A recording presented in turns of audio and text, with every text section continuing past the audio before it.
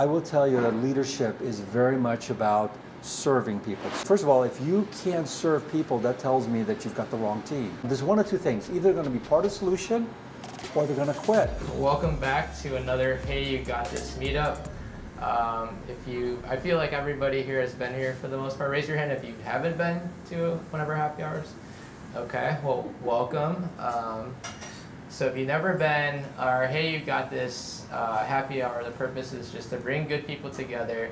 There's no upsell, there's no nothing like that. We just want to genuinely connect people who are all pursuing their passion. And we always try to interview somebody every time. And today's guest is Patrick over here, who you'll hear his story soon. But Patrick is the president of Realty Executive. Realty Executive is a very big uh, company here in Arizona. Raise your hand if you've heard or seen Realty Executive. All right, you're doing a good job with marketing. Yeah, there's, I got there's a lot it looks like about 25% market share. awareness. Um, but today we're going to hear his story on how he became the president. And if you look up on LinkedIn, Realty Executive has thousands of employees, so that's very, um, very, very impressive. So we'll be able to learn a lot, and you guys will be able to ask questions as well. But before we start, something I want to plug is uh, we're doing a big gala event on November 7th in Phoenix. And if you've seen the video, you know, we always try to do good for others.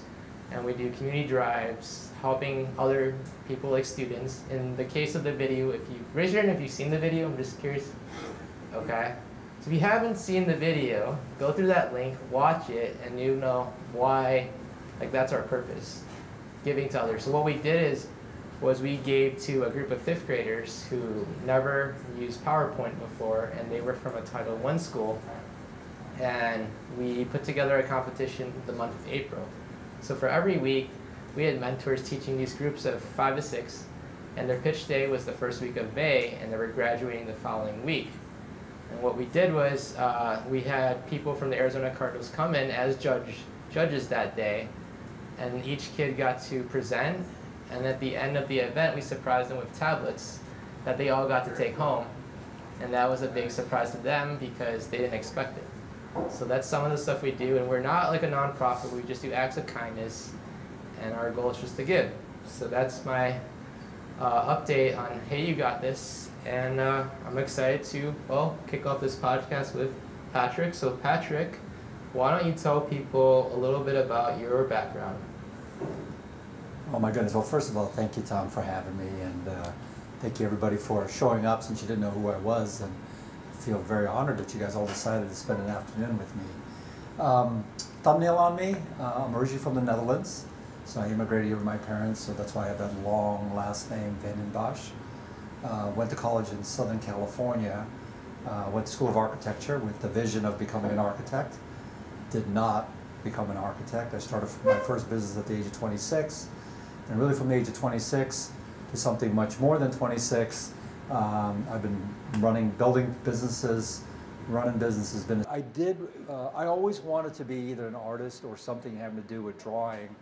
What I did three-dimensional thinking and three-dimensional problem solving.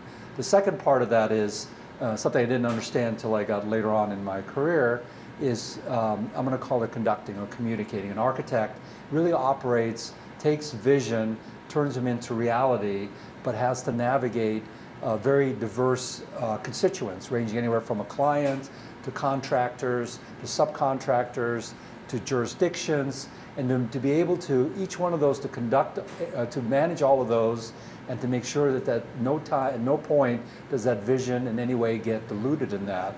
And so, as a child, uh, I knew that I wanted. I was. I thought I was creative. It turns out I'm a left brain, right brain. I'm very creative, but ultimately what I really enjoy is building things. And so uh, I got to live out my life, I got to live out my childhood dream, not knowing that I was going to be doing, doing what I'm doing today.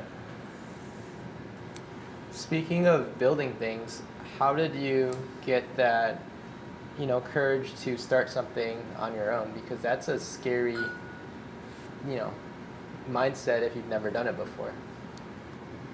Yeah, so uh, it's a great question. First of all, I want you to know um, courage is you find something you find later on in life when things have worked out.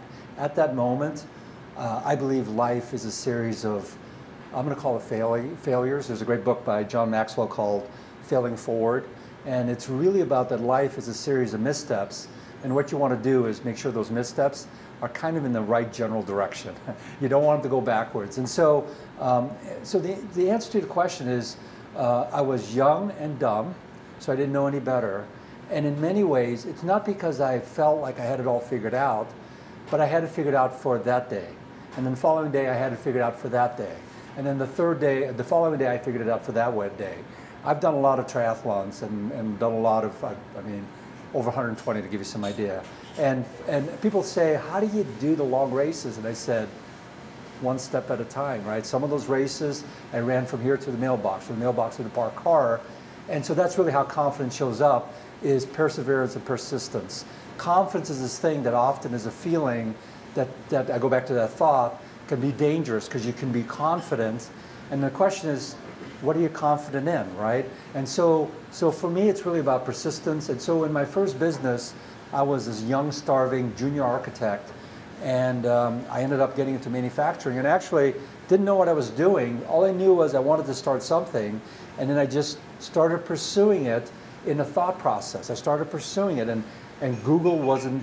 First of all, the word didn't exist. Google, internet, um, you know.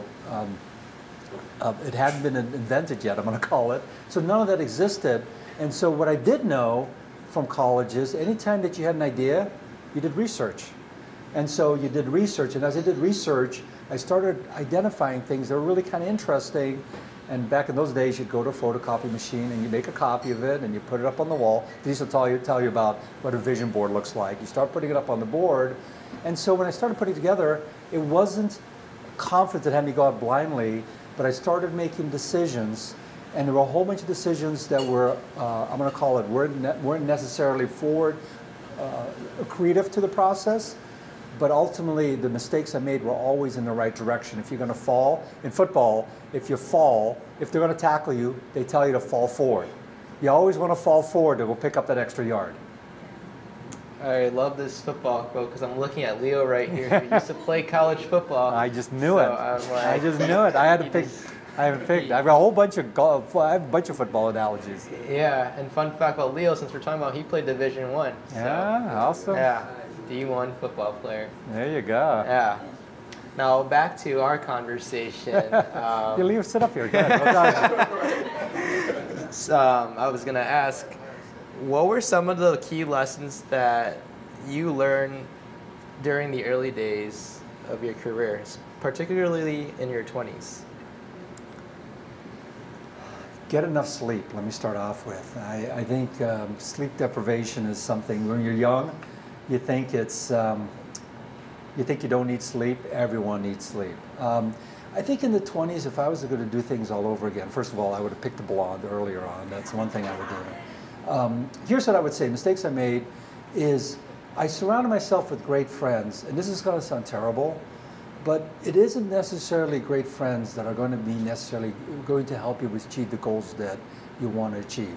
I'm not suggesting at all to kick your friends to the curb, but you should pick people that are ahead of you. They should be people that are going to be more aligned with where you're going, not kind of where you are or where you've been.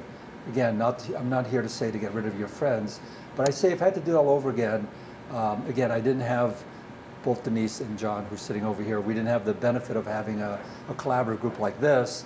But I think mentoring, I didn't know. I think I, if I had to do it all over again, Thomas, you're terrific about this. I think mentoring is really good. I also didn't realize when I was in my 20s that when I was, I ended up getting into manufacturing, that it's okay to get your ideas from out of the industry. And so my 20s, being able to listen to people that even if they have differing opinion, is to just hear them out because sometimes that'll prompt an idea. And so if I had to do that all over again, being able to broaden out that circle. And then the last thing I would say is don't lone wolf anything in life because um, your greatest asset is yourself and your worst enemy is yourself. And I think it's, I always tell people, you'll convince yourself about amazing things and you'll convince yourself about things you shouldn't be convincing yourself on, right? And so I think uh, if I do that again, I'd make sure that I had a broader group that was helping me in that. How do you encourage somebody to stay driven, especially in what they do today? In your case, you know, you've done so much in your career. that if you wanted to, you, you didn't. You don't have to work if you don't want to. So where do you get the drive to keep being curious to keep going? So there's a there's a great book. Make a lot of plugs in books because we like reading, but there's a great book called Halftime by Bob Buford, which is to move from success to significance. So one of the things that's actually probably part of the answer on things I would do different than 20 year old. 20 years old, you think about things. Uh, I want to make a lot of money. I, I want to be very successful. Uh, here's what I would say. I think it, I think it's super important to transcend beyond that because the money will come and go. To be quite honest, in fact, the saying I say is. Um, money is the is the byproduct of great execution. It should not come as a surprise that if you do your job well, if you come up with an idea, it should not come as a surprise that people want to buy it, that people want to use your service. It should not come as a surprise. So I always say, why focus on the money? Focus on, so now if you take that away, you should focus on things that transcend time. One of them is, I, I think it's important to understand, um, I'm going to call it a, a lifelong goal of things that are they're going to be with you forever. I think betterment, self-betterment is important. I think I mentioned time earlier, being mindful about how do you spend your time. Relationships, I think, are super important. I think those are things that often we'll sacrifice early on, and then we wonder later on why we have fractured lives because we, we don't have a support system. So for me, um, when I was young, I had a lot of energy, I had a lot of drive, but I would say it was not lifelong. Um, it was not. It was not lifelong sustainable because I tell people it's like you can go. I went School of Architecture. I was. I became a master at sleep, sleep deprivation because we didn't have CAD systems and computers to do that. I was all hand drawn, and so. But the thing is, you you want to think in terms of things that are sustainable for the long term, and so um, so I think to be driven, you when you start putting out a goal out there about hey look you know, I love what you said, Thomas, about earlier about giving back, right? But but I'll take it to a different level. Is hey, look, one things I want to achieve in life is I want to do well. I want to be, I want to excel at my craft, to make this a you know, to make my not to make my mark, but to be able to impact on my community. Those are goals that transcend. Because I do think if you make it more outward facing, you'll do a great, you'll do yourself a great favor internally. If you focus on internal goals then you'll be self-driven, and the only one that you end up satisfying is yourself, which is kind of a lonely, uh, lonely life. Since this is called the Hey You Got This podcast, yeah. I want you to think of a moment where you were knocked down. Walk us through how somebody helped you get up in that moment. Well, I've been, knocked down a lot Let me start off with. So I've been, I've probably spent um, the, the thing is not, you know, it's a, I think it's a quote, right? It's not about getting knocked down, it's getting up. That's the, kind of the key. Um, here's what I would say, and Denise has been a big part of this. Like, um, Denise has been through um, both my highs and lows, and I think it's super important that you have people around you that really genuinely love you, genuinely care about you, regardless of the successes. I think that's super important because um, you'll find very quickly when, when you're very successful, friends are easy to get. That's not a problem whatsoever.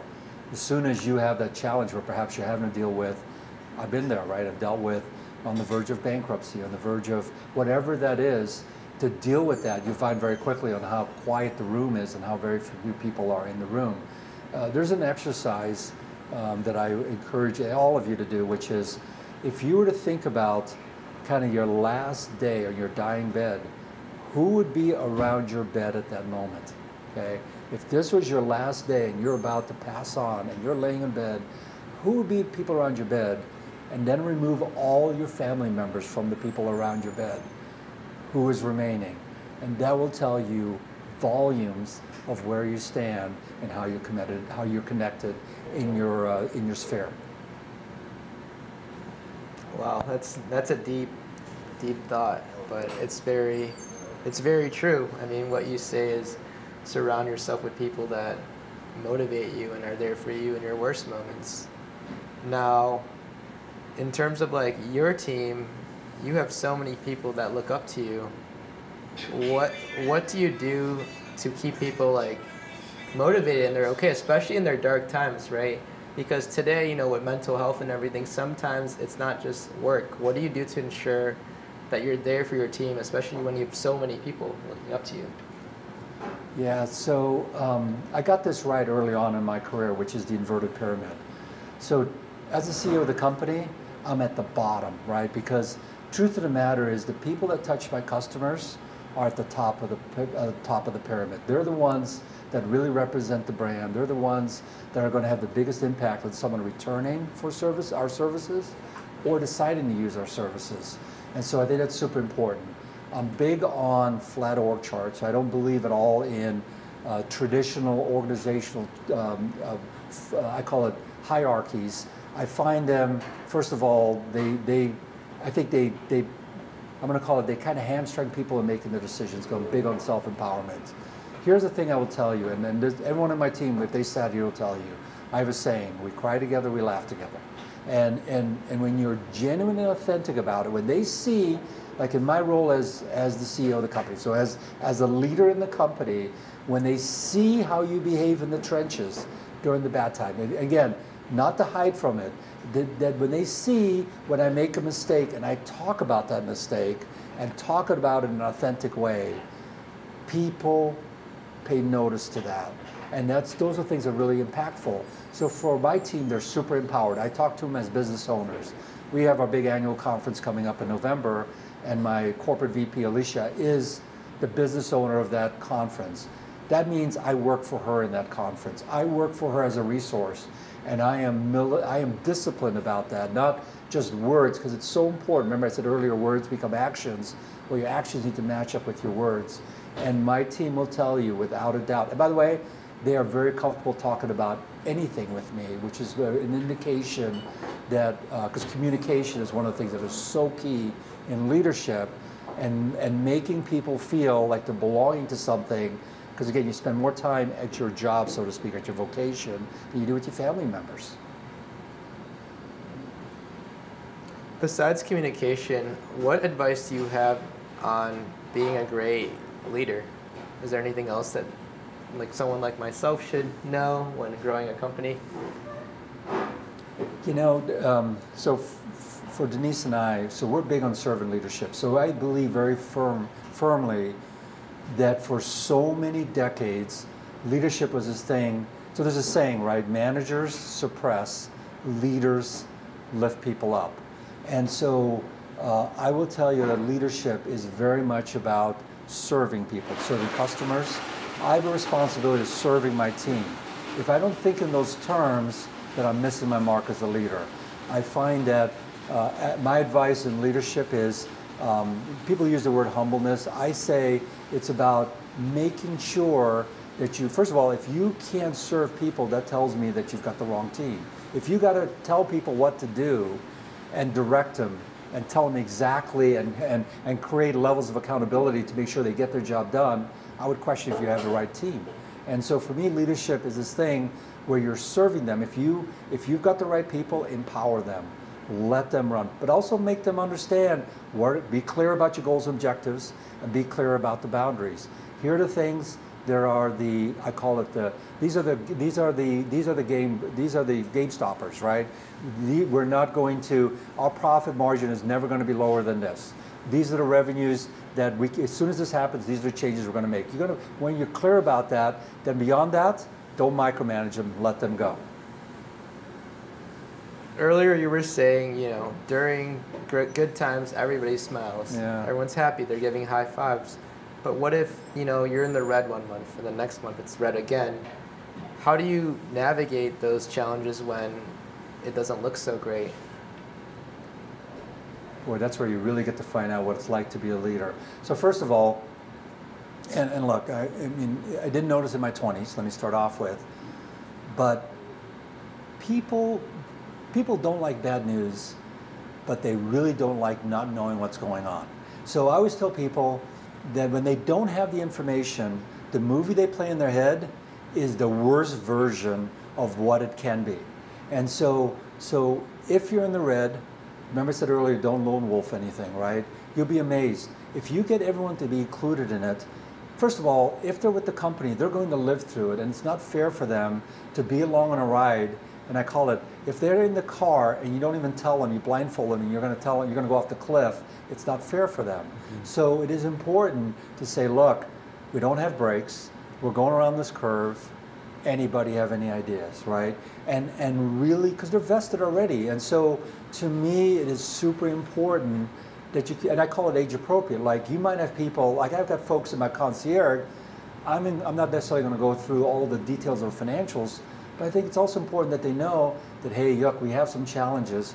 We need to really tighten our belt. We need to figure out how to save X dollars because we got to convince the bank to give us a line of credit.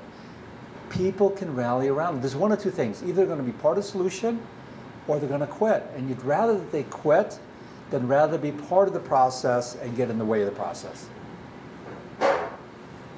Speaking of dark days, what do you do when a team member on your staff or on your team isn't doing so great? Like they've hit their wall a bunch of times. How do you get that team member up?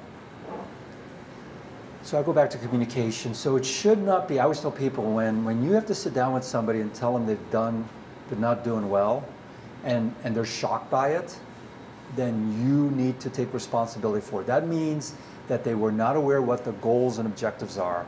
So I'll give the example if you're a sales, Denise is, in sales and her goal is to do a million dollars and I pull her into my office because she's at 500,000 and I'm telling her, my goodness, you're not pulling your weight, you're only at 500,000 and she's shocked, that's my fault. Mm-hmm. That means I've not communicated to her what the expectation is. And so, so the answer to your question is, so if that happens, if the conversation back up here. So one, it should not be surprised. The second is back to your question about how do you lift them up. They should be coming to you for help. If you've set this up right, where they know what the goals are, and they know that the process is, hey, look, I'm here to help you, they should be engaged. If you have provided the right environment of communication, the right environment of support, the right leadership, they'll come to you. They'll come to you and say, look, I'm really struggling on this. I need some help on it. Because you think about it, it's like if you have a child or you have a friend, they'll come to you if they know that they can depend on you. If they wait till that doomsday, I'm going to call it, or that judgment day, then I would say there's a problem in the in the um, in the communication process, in the hierarchy of a communication flow. What advice do you have for someone today who wants to start something of their own or just do something that's considered scary and they don't know what the unknown looks like. Okay, so uh, Denise is actually with me, and someone came to me and they heard me speak, and they actually remembered, which is always a great. It's always a great compliment to me when they repeat back that they actually something I actually said. So this is what he said. I'll never forget. He goes, "I wish I had heard you speak before I started my business. It takes twice as much money it takes twice as long. Let me start off that's the first thing I tell people. So no matter what you think, whatever you whatever you want to pursue, start with those two facts right off the bat. It'll set the expectation. And I think beyond that, um, just understand what the set. There's a sacrifice. In starting anything, there's there's a cycle. There's I call it. There's there's actually three cycles to it. One is the sacrifice cycle. Then if you get through the sacrifice cycle, you'll have some rewards. And then there's the backside of this where all of a sudden I call this almost like founder's disease where it runs out of steam, where perhaps the idea either it, could be a business that all of a sudden has found its own level, or maybe it's a business that's no longer a service that nobody somebody doesn't want, but it has three cycles to it. I guarantee. It used to be a seven-year cycle. Today, those cycles could be as short as a year, to be quite honest, because just because of the, the, the, the digital platform, the technology platform that's out there. But but I would say be mindful. It takes twice as long, twice as much money. And then, you know what, just be thoughtful in that approach. And then and, the last thing I'll say is be agile and pivot. I, I, say it's like, I'll take football, right? Football, you, you do the X's and O's. And, and if everyone follows the X's and O's, it should be a really nice, clean block and a, and a nice hole for you to run through. But truth of the matter is there's human beings involved, and human beings are messy. Let me start off with, we are we are the, I, in, my, in my balance sheet on the financials, they are the inconsistency. Because, you know, today Denise is a model employee, she goes home, she has a fight with her husband who is not paying attention to her, which is me. And so she comes tomorrow with an attitude, and all of a sudden that's changed. And so people are messy. And so I, I think, you know, just be mindful of that. I like it. Um, what are common advice that you give to people that you advise? Because I know that you advise a lot of people, in, including right here in the front row. So, so uh, I'll pick on John because I sit on his board. He's got a great company called The Perfect Companion that's grown leaps and bounds because he's done some great things. Uh, but his advice, he'll tell you, is um, first of all, um, focus on the core things. I remove all, the, I tell them, do not, entrepreneurs, when you start a business, you'll have like a million ideas. And, and by the way, you have a million today, and then you have another million tomorrow, and then you create all these lists that are to-do lists and all these idea lists, and then the truth of the matter is you're now in the business of making lists. You're not in the, you're not in the business of executing. So John will tell you, as I, I used to say, I, I still tell him, take the ideas. I don't say throw them out, park them over here. Focus on the business, focus on the fundamentals. Again, I'm going to just pick on Leo here. In football, they always say focus on the fundamentals, right? Don't get too cute, focus on the fundamentals, right? If it doesn't matter, if you start getting really cute, you could do a lot of juking and jiving and, and you never move from the same spot. like never, you can spend a lot of energy and never move from the same spot. So I would say um, the, the number one advice I give is don't be distracted, be focused, but I would say be loosely focused. Some people get too intensely focused and so narrow focused they don't give their, their they don't give themselves a chance, a margin to make the necessary pivot or the necessary change in that. And so they get so fixated on it that they become so stubborn and headstrong in that idea that they are marching forward and they could be just one degree off from a great idea and a great execution. What are good habits to practice? Well, I go back to sleep. That's a good one because you gotta remember. I said earlier, thoughts become words, and guess where the thoughts come from? Your brain. And if your brain isn't uh, healthy or, or well rested, um, you'll get the lesser version of yourself every single day. By the way, it's it's it's, it's, um, it's uh, data has shown that. Um, so I would say that um, I, I think uh, energy is important. I think for me, uh, some of those habits, uh, Denise and I, we read a lot. I think uh, I love reading, most of my stuff I read nonfiction. I'm reading, um, I say reading, I listen to Audible on George Washington. And I find that thought process, but I read, um, the other book I'm reading is, um, is, um, is called The Gap and the Gain, which is a book written by, um, by um, I'm drawing a blank on his name, but anyway, uh, great book. To me, reading is super important. Um, I, think it, I love, like an event like this, I like listening to people. I like hearing ideas. And, and by the way, they don't have to, I'm not looking for, I like hearing different, uh, I, I, call it different life experiences. I think they're super helpful. Um, I think the other thing is I think there's a habit, I, I'm, I think it is important because um, I think if you under, start understanding how to be efficient in your day, I think we tend, especially at a younger age, we go, we run so hard and we think we have all the, and we're indestructible and we can go just forever. And we start from seven o'clock in the morning and we'll run to seven o'clock at night. Truth of the matter is there's only a certain amount of time that you're really productive and efficient. And I think prioritizing your day that way, I think is super, super important. And that's a good habit. That's a good habit to develop earlier. Denise will tell you, right, wrong, or different, I'm super disciplined in what I do. And, and, and understanding um, how to prioritize on that every single day have been from, from my young age, my 20s, not because I got it all right, but I did understand how to prioritize my day every single day. Since you talked a lot about Denise, I have a question about your relationship with her. What is it like to work with your significant other? Well, it, I don't know any different, let me start off with, but what I'll tell you is, um, like Denise, her desk is amazingly clean, and mine isn't because I, I tend to I tend to run hard pretty hard. So early on in our relationship, she learned the hard way never to clean my desk, right? Like she she'll tell you that story. Uh, here's what I would say. Um, like I feel very blessed that um, I believe in integrated life. I think one of the things we're not wired for and we're not created for is it used to be that people say, well, leave work at home, leave work at the doorstep. But I say, well, wait a minute, but you're the same person. Now, how do you take things out of your head that you just live through. And so I think integrated life is super important, which really speaks to then that whatever you pick as a vocation, it should be something that you're not, that if you got to leave it at the door and you're not willing to share it with those that you live with or that you spend time with, good or bad, I would question why you're in that vocation. And don't get me wrong, life is a series of stepping stones. Don't get me wrong. I've done, I've done, I was worked at the car washes. I can tell you about some of the crappy jobs. And by the way, the crappiest job I had was starting up a business and then I had to go make payroll and I had to learn how to clean toilets and do all those things. I can tell you stories about all that because I couldn't afford anything. And so, but I think for Denise and I, um, we get, for us, we get to talk, we've been in the same industry.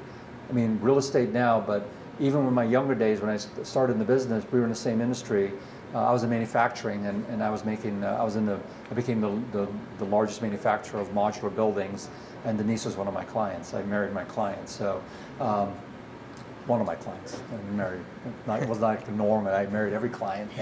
Uh, it was not a benefit that I provided as a manufacturer. Uh, but Denise will tell you that uh, for us, it's always been our pillow talk, right? It's nice to be able to talk about it and not have to explain the mechanics of an industry because she understands the industry. So that makes it, that, that's the good part. The bad part is she knows this industry. And so sometimes it, it's it, she'll, she's she's a different part of the business, and it might not be something that I'm ready to talk about. And that gets in a whole nother word. That gets into a whole nother conversation about men and women, love languages, and all those other things. And I'm not here to give marital advice. So, something I think that would be awesome to highlight is just you remember how we were eating lunch and you were telling me about your daughter and how yeah. she just started a career on TikTok? Yeah, yeah. I think that's pretty relevant. Why don't you share that story? So our daughter, who uh, her name is Bella, I'm the only one that calls her Isabella. Um, I'll start off with the with the end of the story because it's a lot more interesting. I'll build up to it. Today she's about uh, 120,000 followers is what she has, and she's very entrepreneurial because she grew up around Denise and I are very entrepreneurial. She she started a business at the age of 16 where she decided she was going to do streetwear. And uh, she developed a streetwear called Rookies Movement. And uh, on her own, she was really, she, she used my Rolodex. She would call people in my Rolodex to get the right people. But she ended up uh, getting Snoop Dogg's backup dancers to wear her outfit because she was, remember I said earlier about perseverance and persistence? She had perseverance and persistence. She got to wear it is a, the, the business was a complete failure because she made no money. She was literally having to underwrite everything. But she learned how to, how to break through those doors. By the way, it's often not breaking down the doors, it's literally going through the window, to be quite honest, is how you get there. Um, but she decided, she was working for a company, and she decided that she felt that there was a real need out there on interior design, and she wanted to communicate it. She's got a small condominium in Marina Del Rey, and she's like, she went to go get uh, look at furniture, and she's like, "This is outrageous how much this furniture is," and because she, her earlier foray got her exposed to the overseas market in some of the things that she developed in the streetwear, she used those same same contacts to find out that you can get this stuff for cheaper, and she decided to. She so she she's proud to say now she's 25, so she's one of the few people that got a cease and desist from Restoration Hardware because she formed a full website on rest, play off of restoration hardware. In my, in my world, when I started my first company, I named it Standard Pacific Industries, not knowing that there was a big home builder named Standard Pacific. I had that. I was running. I was. I built the company for about three years, and then I got a lovely cease and desist that said stop using our name, uh -huh. and uh, then I knew I arrived because they were paying attention to me. So I say that because Isabella developed this and uh, she decided to use TikTok as a way of saying, well, look, I'm going to show them how to decorate. And people started following her. And she went from literally the beginning of this year to really no followers to about 120,000 followers today. I, I think the other part to mention is that she started doing affiliate marketing, right? Yeah. So what she did is she signed up for all these accounts and she makes videos, but then she hyperlinks her bio to, you know, these items that she makes videos for. And she does pretty good for just posting videos at home and and this is just something that everybody can do if that's what they're into. So I think that's like a cool story to mention. And now back to your story, I think something that I would like to hear is if you can share, you know, those dark days, a particular moment, you know, how did it just look really cloudy? I, I want to hear what did you do to get out of the clouds? One So- moment that you can think of. So, the one story that I'll tell, there's lots of stories, but the one I think, so um, I brought Barrett-Jackson to Las Vegas, and literally when I brought him to Vegas was during, Denise was there, during a time when the markets was in a complete free fall in 2007. So we were there opening up with a multi-million dollar event, selling multi-million dollar cars, and the stock market was literally in a free fall. And so we were committed. It was the, the this is right, the day that it happened. And so, uh, and everyone looked at me and said, what are we gonna do? And I thought about it and I said, you know what? We're going to go out to the community because I think the community, they're going to be so scared that they want to be part of something that makes, that allows them to escape from it. So we, I hired people to go into the communities with billboards, traveling billboards on cars, to come out to the event. And we started just pushing uh, marketing just in the town of Vegas, the surrounding area. And I said, let's just fill up this arena because if we can fill up the arena, whatever buyers are here, they'll be excited about having so many people in the audience that I think they'll engage. Uh, we opened up the next day and we had so many people lined up. They to tell you that I was literally, they, the ticket takers couldn't sell tickets fast enough. I would take wads of tickets and walk all the way to the end of the line and just literally, my system was with me, I would hand out tickets and take cash to get them into the event. We ended up in that event, we ended up doing an inaugural event from scratch during free fall. We ended up in a two-day event doing $23 million. Whoa. That's that's a lot. I was looking at Denise and I feel that you remember that day very well. Right?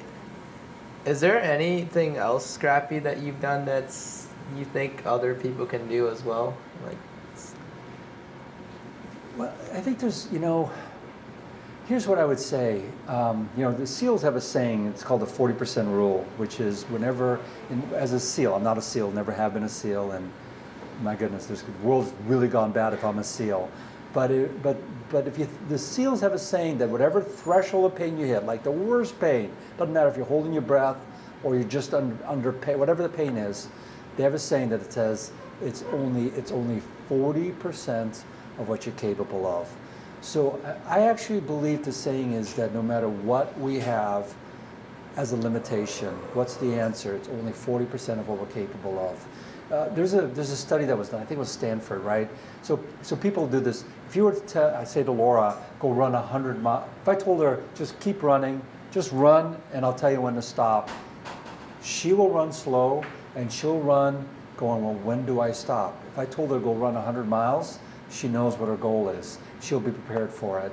So I think what's so important is that we end up undercutting our own success, limiting our own success, that part of it is came, coming up with waypoints saying, hey, look, here's what I need to achieve. Because there's a saying, right? How you eat an elephant? And the answer is you eat it one bite at a time, right? So we tend to stare at the elephant.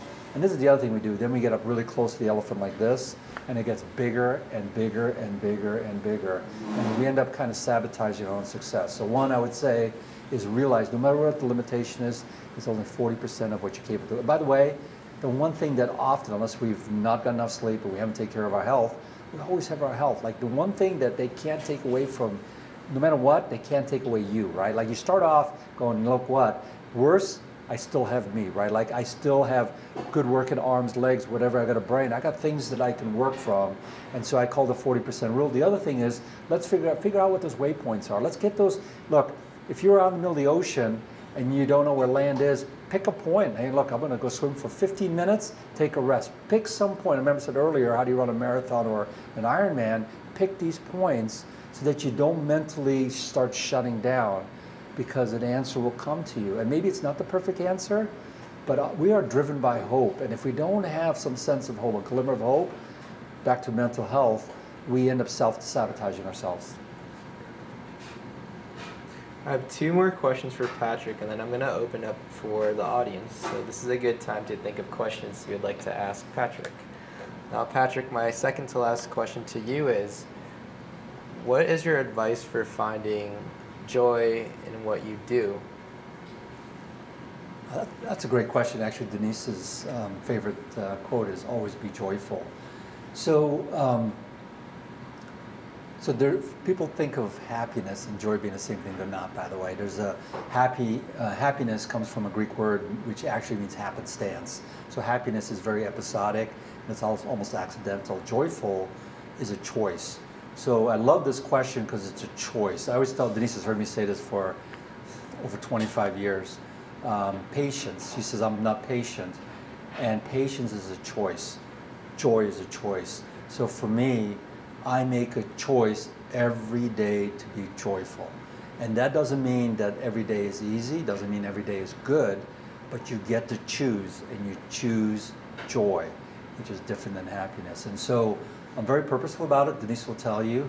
Um, you know, there's not, um, it's my strength, I want to say, not because um, it, it's my strength only because uh, my strength is I'm pretty unflappable. Doesn't matter if things are even that day. Denise will tell you uh, I did not freak out because I learned a long time ago when I was in my 20s.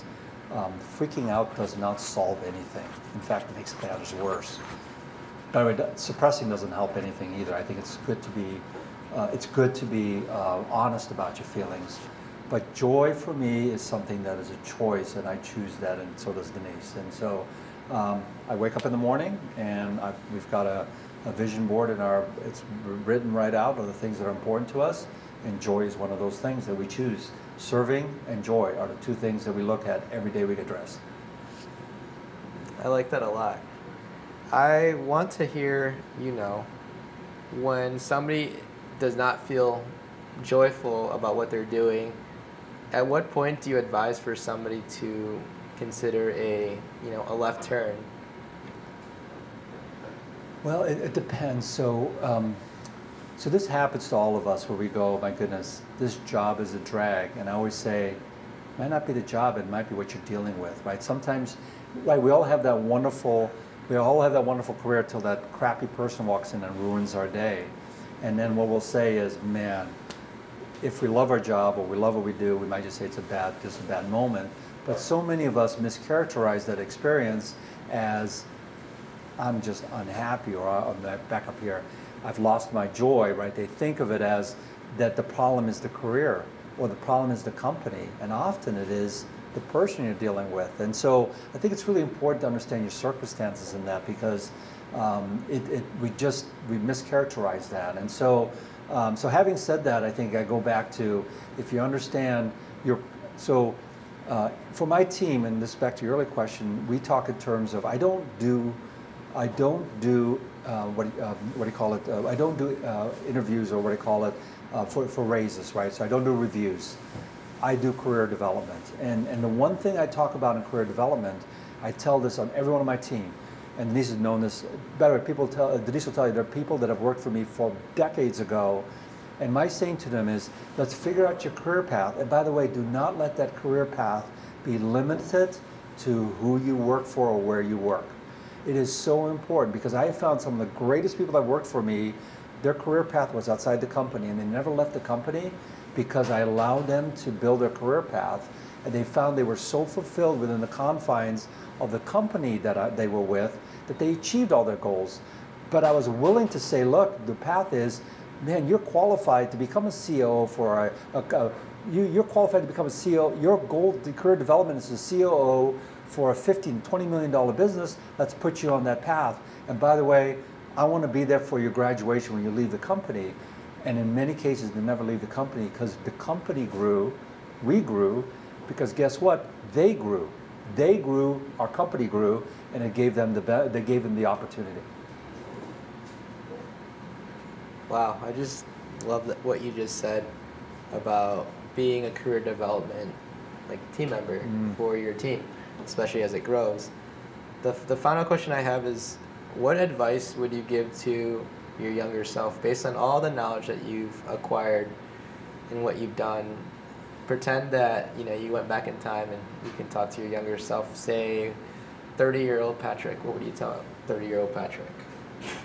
Uh, I'm going to say my 26 year old self because that's when I started my first company. Um, don't be stubborn. That's the first thing I'd say. I said this earlier.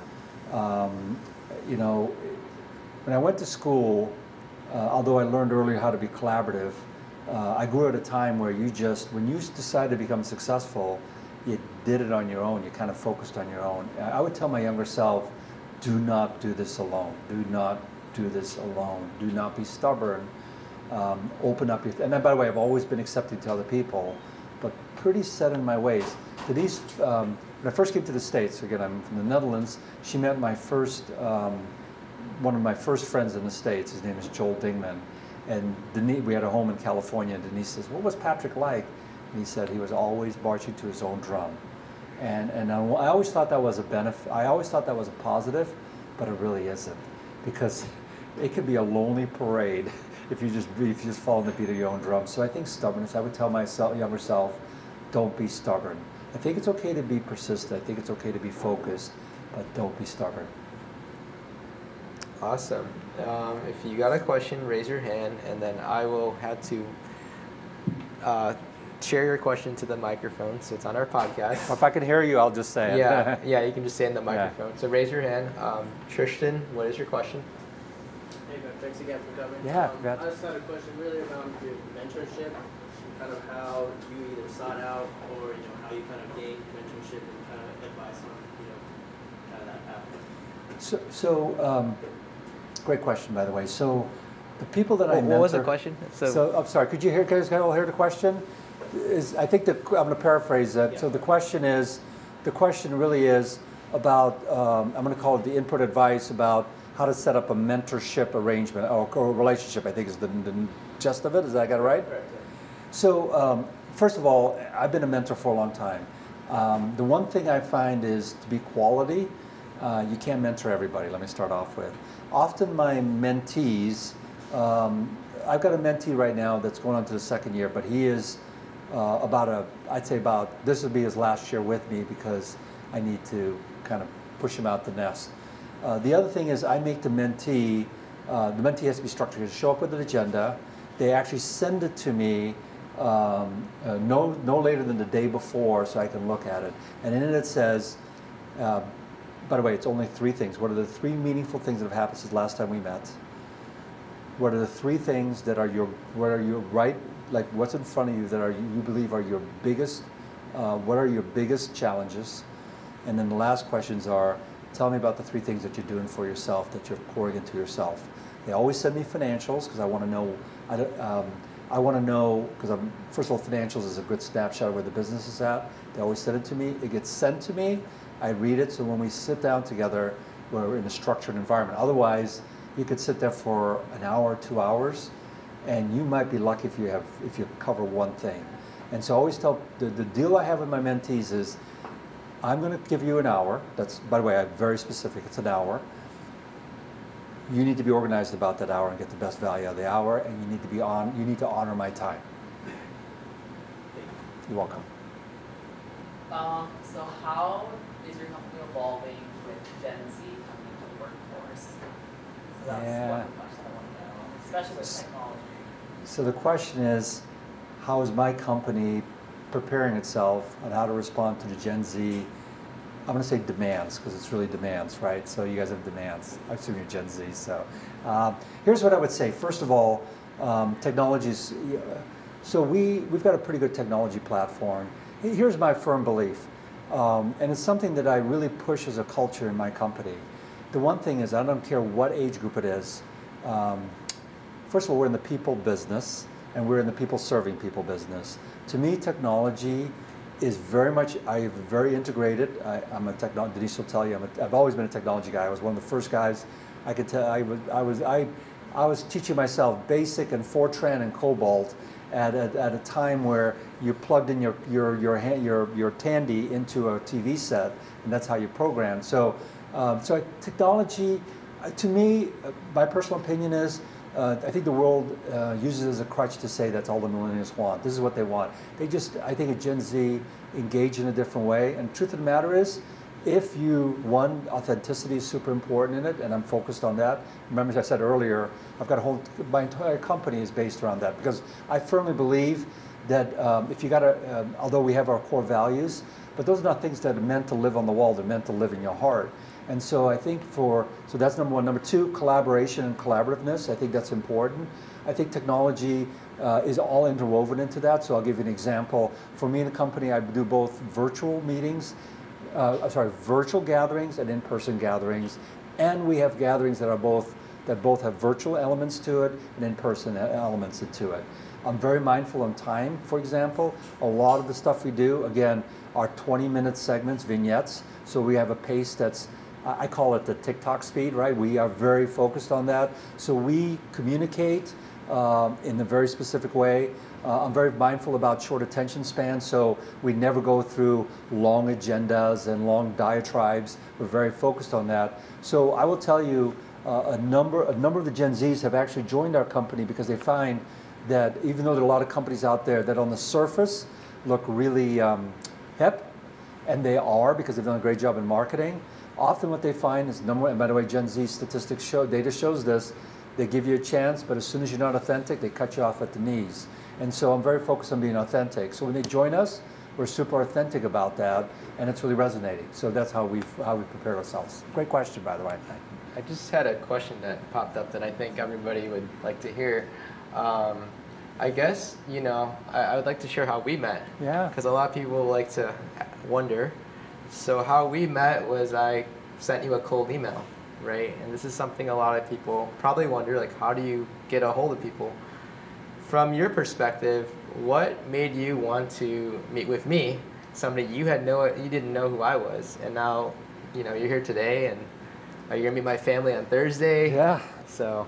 We're having great, authentic Vietnamese food on yeah. Thursday. So, um, so, and but, but this is proof of um, that's just a byproduct of, uh, of a great relationship, right? So it should not come as a surprise that Thomas has invited us over for dinner with his family. Uh, answer to the question is, uh, I got a I got an email from Thomas, but first thing I saw was that he was a YPOer. So I belong to both he and I belong to an organization called YPO.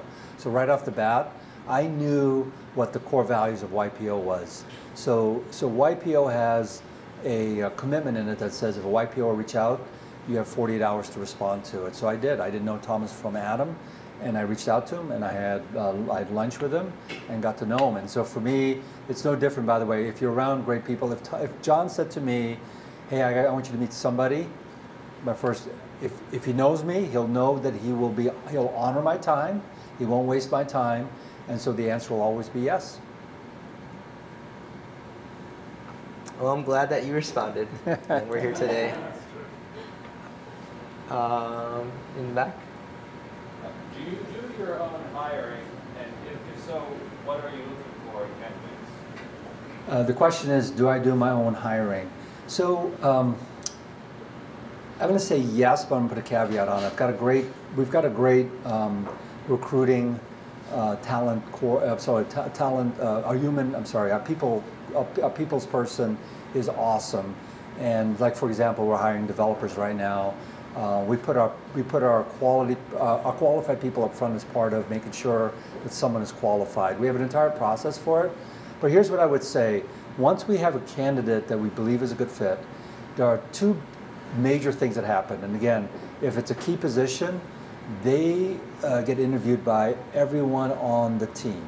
Okay, that goes from concierge to C-level suite. They everybody gets talked because my belief is if you're going to work with somebody, it's no different than uh, if I was going to meet, I'm going to meet Thomas' family, right?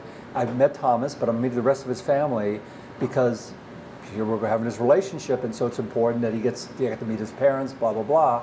So that's super important. The second thing is we put all key positions through case studies, and so and by the way, the case studies is not about right or wrong. Um, so what we look for is uh, we put them in a. There's two, three things that we do. We give them a case study, depending what the position is, and we put them in a room with a computer, and and that computer they can search anything, but we find out first of all we put them in an environment that feels stressful because if you get put in a room on an interview, eh, it feels a little bit like you know is there cameras in here, so that it's meant to create a bit of a pressure. Secondly, we're very interested in where you search. We're very interested to see where you look for information. Thirdly, we're looking for how do you communicate those solutions. It isn't necessarily about what the right answer is, but how do you communicate that? How, because a lot of the, our case studies are, you know, how would you solve this problem? And, and we're not looking for, oh, we just, you know, it could be supply chain. Hey, well, all we're going to do is going to go source it in China. We are interested in hearing the journey. We give them enough guidance to do it, but we leave lots of holes in it to find out what their critical thinking process is.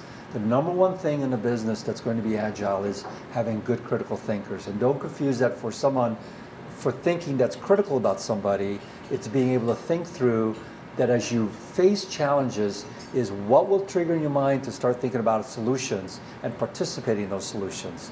That's critical thinking. We have room for two more questions before we wrap this up. Uh, Nick, what's your question? I appreciate um, just everything, good stuff. You spoke a lot and you said critical thinking. You spoke before a little bit on making decisions in the moment when you're uncomfortable. Is there any exercise or any maybe um, flash that you may do in the moment that you might not even know that you think about when those do come? So you're in Vegas, things happen. Well, what are we going to do? You it. Is there anything that you develop over? You take a step out and you go, I'm going to run through these couple things. Or is there anything that makes you feel like you can actually give advice or guide with the solution? Um? Yeah, so I'm going to try to distill that. And I think what is the question is Is there some exercise or some habits that I've developed that allow me in the moment to really respond to a critical decision process that's got tremendous science, uh, time sensitivity to it? Did I get that right? So there's a, I'm sure a number of you read it, uh, but there's a book called uh, Outliers by Malcolm Gladwell. So pick any habit. The reason why you're really good at it is because you spend more than 10,000 hours on it. So the answer to your question is, if you focus 10,000 hours on those right things in life, when those things happen, they'll come right. They'll be like automatic. You, uh, how you position yourself from an attitude standpoint, the calmness that you will have, how you organize your thought process, how to quickly assess the situation and put aside the distraction. The, the last thing I would say is try to get in front of you the evidence that's most important in determining how to respond, how to respond with a decision. And that only happens with 10,000 hours. Again, I'm gonna pick on Leo, right? So the reason why he made Division One, and a whole lot of people don't make Division One, because he developed skill sets he didn't have to worry about. He had spent so many hours that he doesn't have to remember, oh, when this guy comes, I'm gonna go left. That happens automatically. If he's gotta think about it, he's done. Okay, so so you gotta. I remember I said earlier, make sure you spend time on those things, develop that skill set, because there'll be a time. In my case, it was in Vegas. There'll be a time where there'll be crunch time, and those things will rush forward. Again, remember I said earlier, freaking out doesn't solve anything. So many people have spent 10,000 hours getting really good at freaking out. So guess what happens? The first time that there's some kind of calamity, their hair is on fire, guaranteed. Before our last question, um, I have an ask for the audience. If you're enjoying this, my ask is um, to support us on Instagram. It's HYG, this is our tag. And if you're enjoying it, tag the Instagram handle so that we can grow. Also, tag Patrick's company, Realty Executive. Yeah, I'm sure they would really Realty Executive appreciate that. Absolutely. So again, HYG this, and share it on the stories. And now to the last question. Who would like to ask? All right, right in front of you. Um, I think this is actually a typical question that you've probably been asked a lot, and I think I've gotten the same answer to this question every time I ask it. That's no pressure. I'm still asking anyway. Um, so if you had to go back in time, right? You seem like you're very successful. You've been through a lot. You've seen a lot. You've done a lot. If you had to go back in time and change anything that you've done to impact how you are now and how your company is now, would you do it? And if you would, what would it be? So for those that didn't hear it, the question is if I could go back in time, what would I change? If there's anything I want to change, I think is what the question. right. So the answer is, uh, I wouldn't change anything. Let me start off with. I know that's not the typical answer, um, but I wouldn't change anything. Um, here, here's the thing, and by the way, there's a whole bunch of things I wish hadn't happened, and there's a whole bunch of things I wish I wouldn't have done different. But the truth of the matter is, with the sum of the parts. So, so, so the analogy I give is, um, if John had a, had an airplane had a uh, had a um, uh, sorry had an airline company, and he's and he's had it for 20 years, never had an accident, never been late, never had an issue.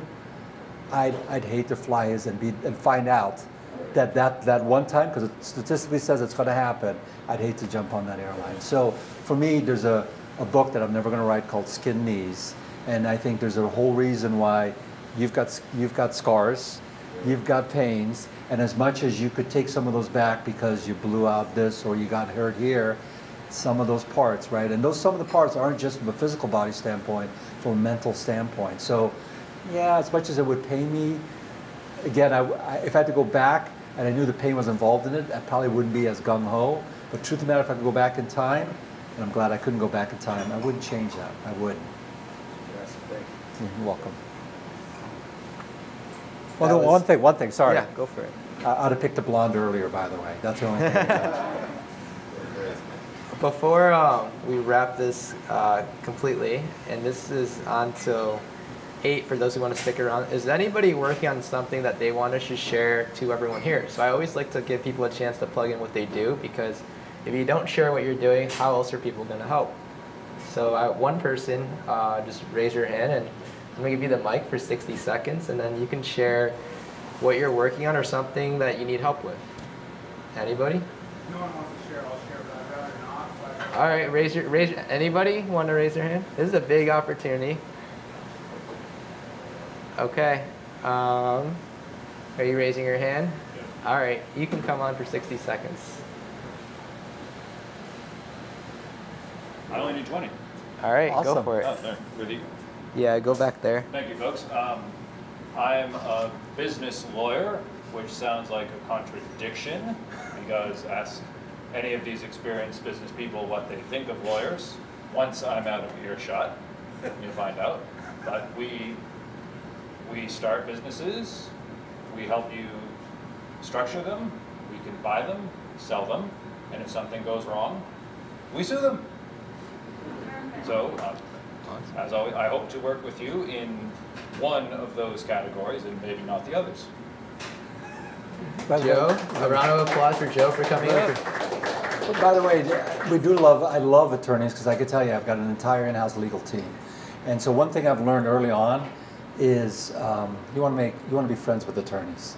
I will tell you that uh, some of the best attorneys in town I never used, but they were on my payroll because I didn't, I conflicted them out. I conflicted out the best of the best in the market strategically, so I'm a big fan of attorneys. Quick story about Joe. I actually met him at SIP, uh, probably in May, right? You didn't know who I was, and you were just hanging out around, and you just came, and it's really cool to see that you're here now as like an attendee, and I just want to shout that out because I think it's awesome for you to come up on stage and sharing, you know, what you're working on. So kudos to you. And then Patrick, um, this was awesome. I, you know, I'm really grateful that you took time to do this with us. Something that I learned and something our Sapphire team will, you know, appreciate is through you. You know, I learned. You were talking about performance reviews, how you're not part of there, but you're there as a, a coach, a career coach. Yeah. And I've been kind of just figuring out, like, you know, as our team scales, where where am I in the bigger picture? Because now, you know, I'm grateful that we got amazing people to do everything, and I kind of got a little lost. Yeah. But because of what you said, I think like you know my role now is to be like a career coach to Leo or Eric in the back, Shakti, or uh, you know my team here. So, I I'm thankful for that advice. And two, thank you to everybody for coming out on this Monday night. Um, I know there's plenty of things that you all can do. So, yeah, yeah, go for it. Um, You might want to stand up. It's a. now maybe I'll sit here. Yeah. Um, let me just say that one thing that I can say, looking over here to Leo, no pain, no gain. I think heard that like a hundred thousand times if you're a football player. And um, you know, I'm an Ohio State Buckeyes. That's a whole other story. But but um, but I think the other thing that gets lost is having somebody with the credibility that Patrick has to be able to position you when you're ready to make the next step having someone who's there for you, who's been through all the wars, and can put you when he thinks you're you're ready to take that next step, he does that. And being a part of YPO as you are, it's invaluable. And his ability to just be able to put you in a place when he thinks you're ready to take that next step, it's unbelievable. I mean, we just made the Inc. 5000. We're on the Inc. 5000. Um, one of the fastest growing That's awesome. companies in Congrats. America. And we're the 225th fastest growing healthcare company in the country.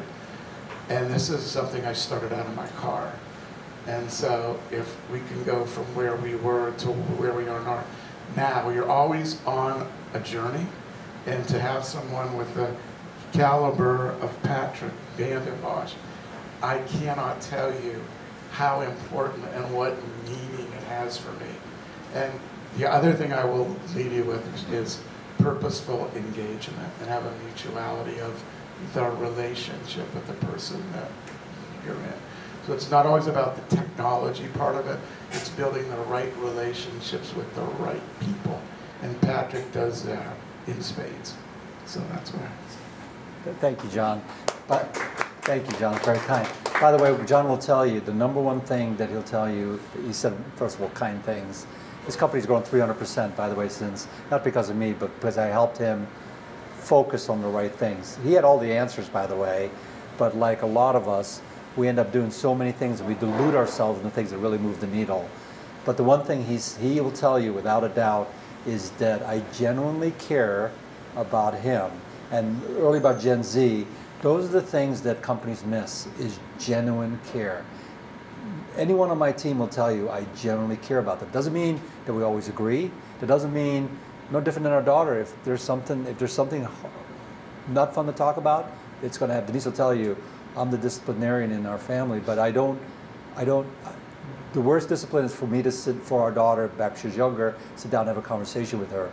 For John, the number one thing is that he had someone who truly cared about him and cared about his business. Oh, that was a powerful testimonial. The on- other thing I will say too is finding someone who puts your self-interest in front of theirs. And it's hard to find that. That's serve. That, by the way, you talked about servant. That's servant leadership. That's what servant leadership looks like. Yeah, Thank you for sharing that. Um, From the heart. yeah, no, it's. How long have you been mentoring him for? Almost two, two and a half years. Two and a half years. Yeah. Yeah. But I mean, the relationship that we have is, I mean, I can bounce off stuff. I mean, we go back and forth with things all the time. And, you know, our mindsets are always in tune and, you know, what, how to grow the business. And he knows I do lead business and research and I do all that stuff. So it's not hard for me just to have a, a mutual conversation with him. Because we can go back and forth and talk about highbrow stuff all the time. So. Yeah. Yeah. And earlier you said how how old were you? How old were you? Earlier, I was saying you were telling me you know. Well, so if, if you guys like, you know, in the Phoenix business, you know, they have twenty under twenty, thirty under thirty in this business people. So in November, I'll be seventy years old. 70 years old. Yeah. Yeah. 70. Yeah, so, you know, that- That's And I'm just saying, so it's like, you know, it doesn't matter what age you are, you gotta have the energy to be able to keep going. I have a lot of my friends who are retired, purposeful engagement, so keep that age yeah. So, Yeah. I I I think that still yeah that that you're still you're inspiring. It, it, you're, you're inspiring and what you're doing is amazing and when you told me you're almost 70 I, I you you look like you're 50 that's that's what my That- that- initial thought is so I, whatever you're doing But I love what I do. yeah So, uh, yeah And that's the other thing real quick is having that passion for something. You can't substitute that either. yeah so passion is the key to staying youthful I think so. Yeah. That's part of it, and eating. yeah uh, and sleeping. The- That's. The, the last person I want to shout is Josh here. He's recording our podcast, which will be awesome. So shout out to Josh. And uh, I'm out of words, Patrick. You can close this uh, conversation. Well, first of all, I, I am, I am grateful because you guys all chose to be here. You, you sacrificed your time to be here. I'm very grateful for that. I hope to whatever extent that I've inspired you, motivated you, validated you, um, it, it was absolutely my pleasure to do that. But also know from, for, for me and, and Denise and for John for this case, um, I always enjoy doing this because trust me, I, I, I I met Laura, I, I learn, I meet people, for me, it's a lifelong. I'm a lifelong student, and don't ever stop being a student. Trust me.